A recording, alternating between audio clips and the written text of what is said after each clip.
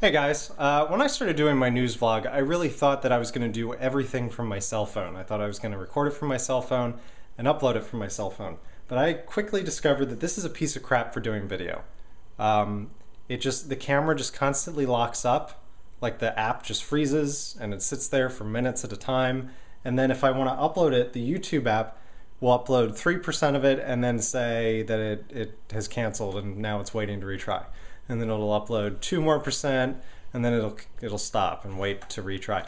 If any of you guys know why this is such a problem, it's an HTC Incredible. It's running Android. I have not done anything to modify it in any way. I am completely clueless why it doesn't work. But until that works, we're just going to use the Kodak because I know this works. So anyway, the news. I want to let you know Five Things, of course, is coming tomorrow. Uh, the Five Things shirt store is open. Links are on my Facebook. I posted it on Twitter. It's fivethings.spreadshirt.com. I'm going to release a video on how to make the Crimson Cross. That is the red plus sign from the Arrival. I finally came up with a good name for it.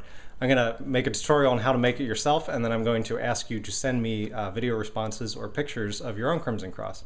But don't do it yet. Wait until the official instructions. Uh, Red Alert 2 Let's Play I would love to keep doing, but Fraps and Red Alert 2 do not play well together at all. Uh, Red Alert 2 just constantly quits. I have not had that problem with Fraps in any other game, so I don't know what it is. If any of you guys have any suggestions on another program I should try that is very simple and easy to use, please let me know. Fraps works so well for everything else. And speaking of Fraps working well, uh, I'm going to use it to do a Portal Let's Play. I have a feeling that a lot of people are going to jump on that because Portal 2 is coming out next week, and Portal is very fun and easy to play, and it's over in just a couple hours. So I'm just going to join the bandwagon and do my own because it's Portal. It's so much fun. I've probably beaten it three or four times, which is why it's going to be really fun to do it again. It's really, really fun. Okay, uh, so five things Crimson Cross, Red Alert 2, Portal. Uh, last thing, the newest episode of the Five Things Let's Play will be recorded tomorrow night. Uh, look for it on Saturday. It will feature my dad again and a special guest, someone who has not been on yet, a longtime supporter and contributor to Five Things. I might have just given it away, but that's okay. Uh, so look for that on Saturday.